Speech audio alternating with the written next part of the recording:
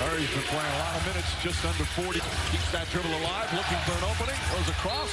Got it deflected. He makes this shot. This is good defense. It's a running.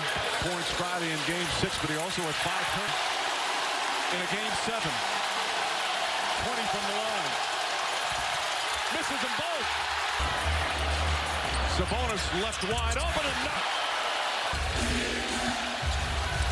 Curry against Murray. Step back, three pointers up. It's good.